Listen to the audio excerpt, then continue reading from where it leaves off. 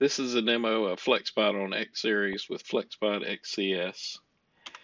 Let's first start by looking at a FlexPod topology that we have in the lab.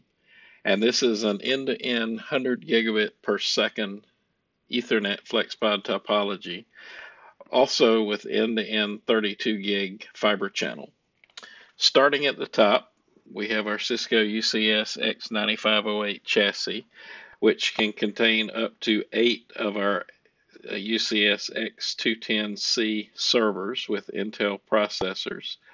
Uh, this chassis also has our new X9108 100G uh, IFM modules, which have four 100 gig connections on each side connected to our two new UCS 6536 fabric interconnects and it's a 4 by 100 gig connection on each side and this could be expanded up to 800 gig connections on each side.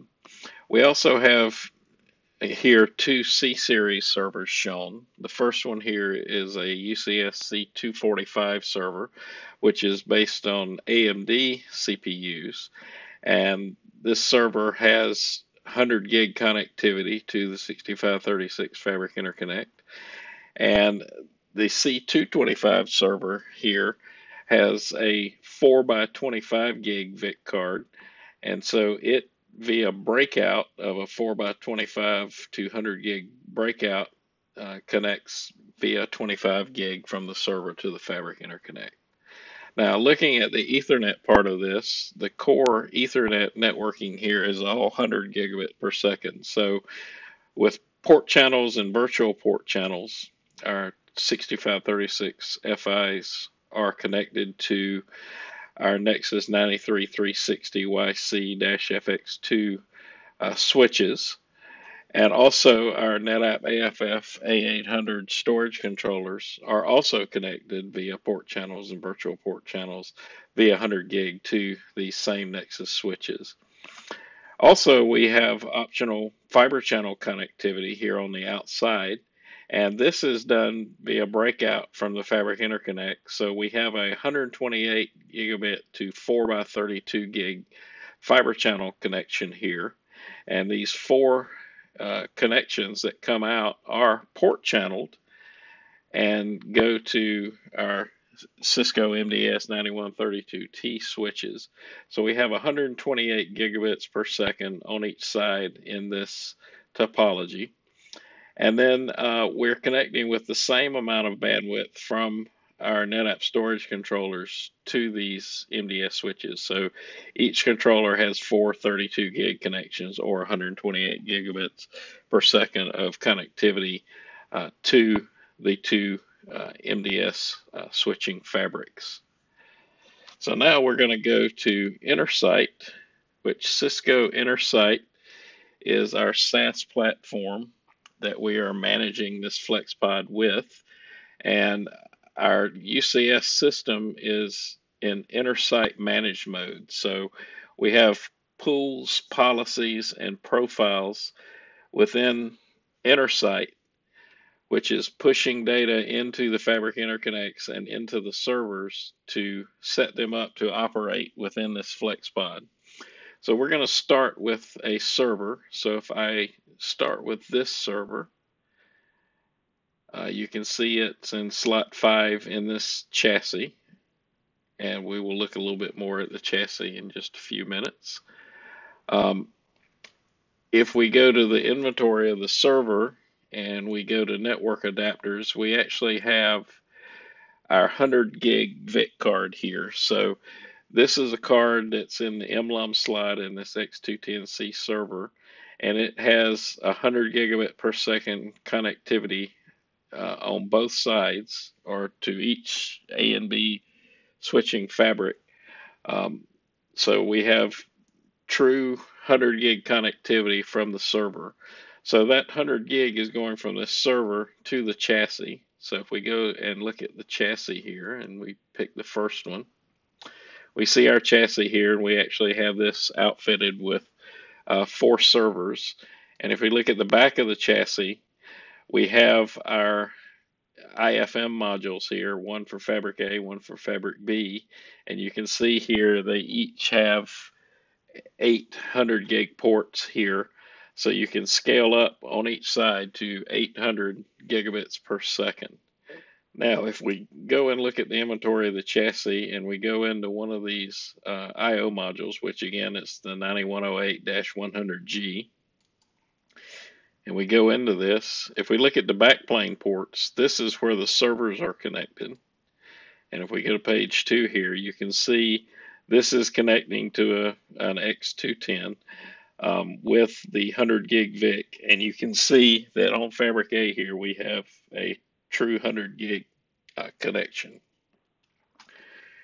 So uh, once we go from the chassis, we go to the fabric interconnect. So we have the fabric ports here, and we have four, and each of these is a 100 gig connection.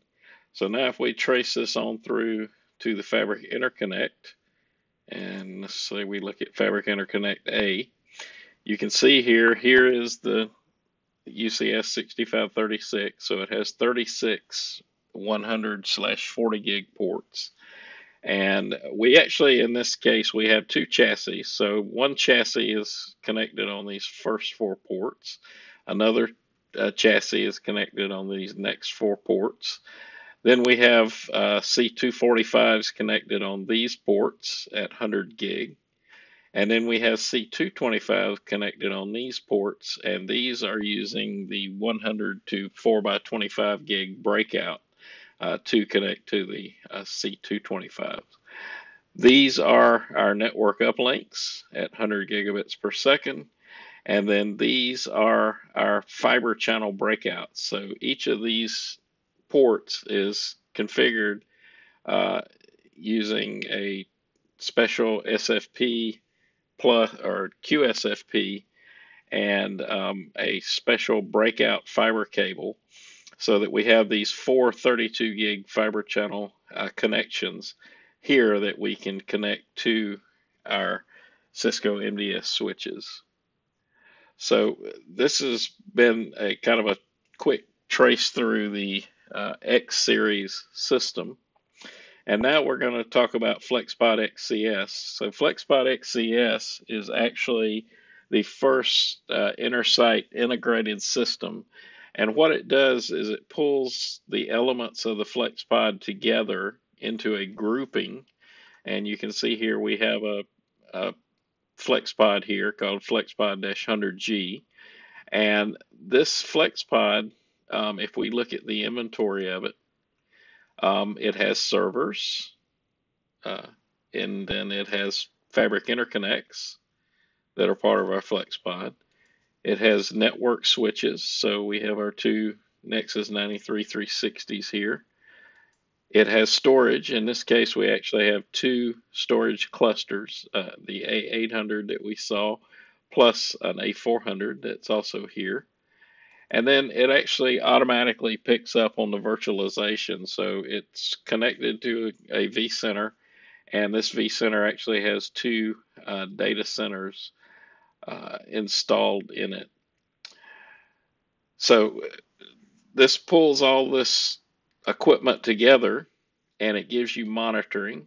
So we have a dashboard here uh, for this particular FlexPod and it has information about servers, fabric interconnects, networking, storage, and virtualization. And here you can see we have some alerts um, from our FlexPod. These are some uh, storage related alerts. And so this is information about this particular FlexPod.